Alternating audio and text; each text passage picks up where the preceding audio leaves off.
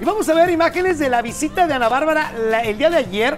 Primero en el aeropuerto internacional de este puerto de Veracruz, precisamente le vemos llegando, toda muy guapetona. De ahí aquí estuvo en Boca del Río dándose un rol, eh, creo que con su mami, no sabemos si es su mami, desconozco. Y gritando, cantando que solo Veracruz es bello. Para después la noche de noche en el Carnaval de Alvarado. Por allá nos saludamos por la nochecita. Un abrazo fuerte a toda mi gente bonita de Alvarado. La rompió mi estimado Julio Cerdán. No, hombre, se estuvo presentando con muchísimo ex a Caracas, Venezuela. A Caracas, eso, Venezuela. Chécate eso, mi Jimmy.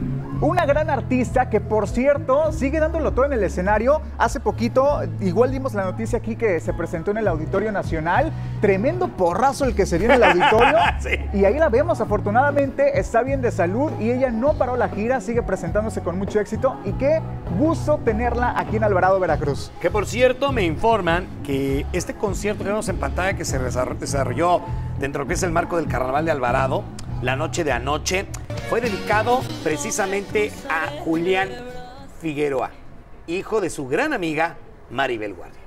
Así que un gran detalle por parte de ella, ¿no? Que de hecho ella estuvo presente también acompañando Sí, así es. a Maribel Guardia. Entonces, pues sí, hay, hay un sentimiento que las une y evidentemente, bueno, todo el gremio artístico es. está unido en este momento a la familia de Maribel Guardia y por ahí estuvo dando algunas declaraciones que a lo mejor la próxima semana ya les estaremos compartiendo aquí en el programa. Así es. ¡Ana Bárbara!